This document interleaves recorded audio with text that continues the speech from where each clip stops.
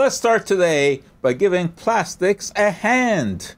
And you're probably surprised by that because it is so much more in vogue these days to diss on plastics. But you know what? Let's rewind a little bit. Let's go back to 1906.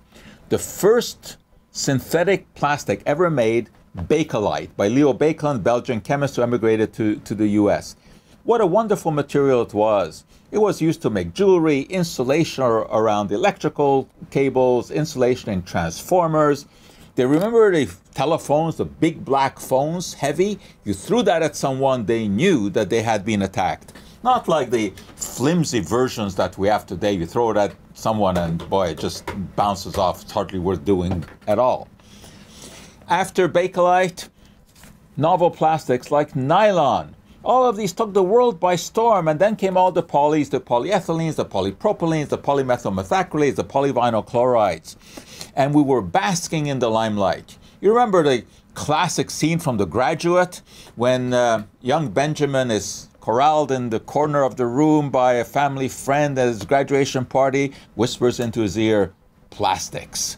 We were swimming in plastics and we're doing that happily.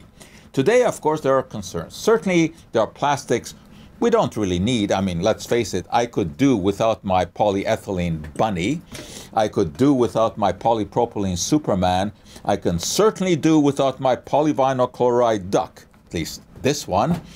Uh, but what about all the other things that we use? Today, our drugs come packaged in plastics, our cosmetics come packaged in plastics, our creams, scotch tape is plastic. We go into the laboratory and we have unbreakable plastic ware.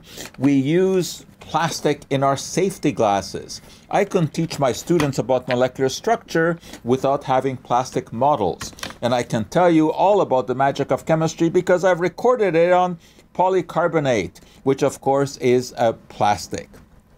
There are all kinds of uses. Our hospitals today could not function without plastic tubing. Virtually every piece of equipment in the hospital makes use of plastic. Even our food supply. You know that I love my berries. I love my blackberries. I love my raspberries. Well, I couldn't possibly have those come all the way from Chile or from California without the polyethylene terephthalate container in which they come.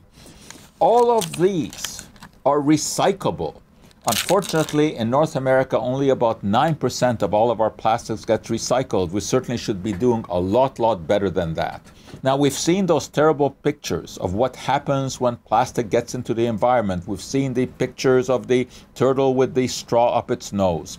We've seen dolphins entangled in, in plastic nets. Uh, we've seen albatrosses cut open with all kinds of plastic in their stomach. This is just terrible. We have to do something about that, about the tremendous amount of plastic that ends up in the ocean. Roughly one dump truck full of plastic gets dumped into the ocean just about every hour of the day, which is an incredible thing. We have to somehow cut down on that. Uh, how do we cut down on that? Well, some plastics have been sort of portrayed as being monstrous. And these are the single use plastics, like the single use spoons, the single use forks, single use straws. These are the things that we can quite readily eliminate. Of course, they can be recycled, but it's better just to use material that doesn't need to be thrown out, that doesn't need to be recycled. We have spoons that we can use over and over again. If you're bent on drinking with a straw, well, we can have a steel straw. You don't have to take a plastic one and throw it away.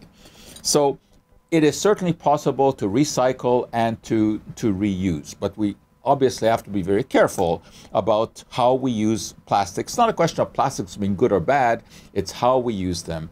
Now, you've heard a great deal about the plastic bags. And these, of course, end up in the environment. Sometimes tragically, they end up in trees, they end up in the ocean. Well, they are eminently reusable. Eminently reusable. This one I have had for months. I take it home, I shop with it, and I bring it back again after I've unpacked it. It's absolutely no problem to the environment as I keep reusing it. But there is one measure that we can all take, very simple one. And it is this. This is an environmental criminal. The amount of oil that is used to make these bottles is terrible. And most of them don't get recycled.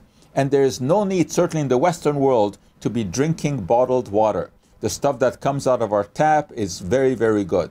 If you are bent on getting these, make sure that you recycle them.